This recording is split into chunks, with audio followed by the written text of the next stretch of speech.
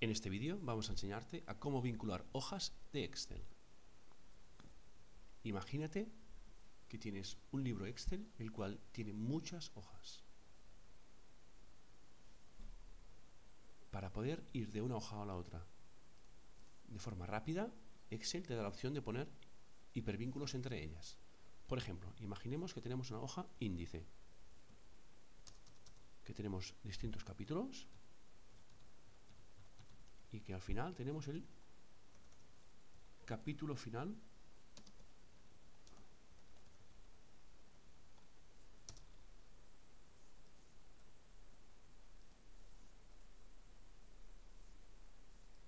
De esta hoja queremos ir al capítulo final que es este.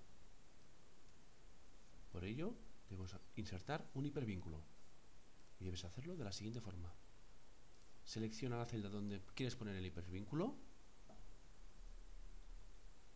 elige la opción menú insertar y elige la opción hipervínculo.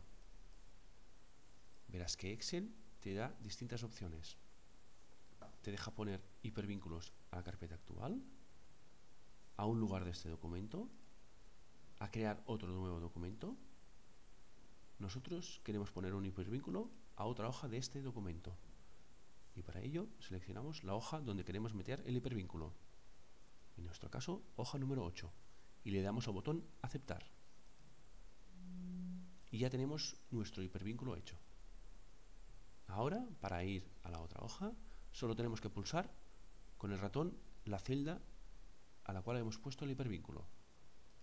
Y Excel ya nos dirige rápidamente a la nueva hoja. Recuerda, para poner el hipervínculo debes seguir las instrucciones siguientes.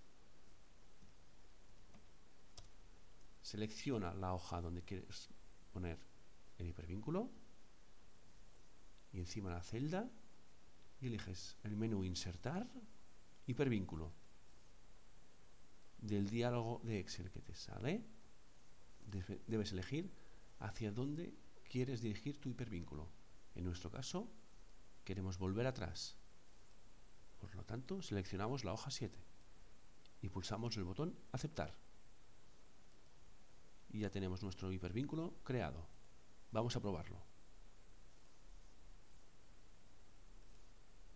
¿Ves cómo Excel con los hipervínculos te agiliza mucho tu tiempo?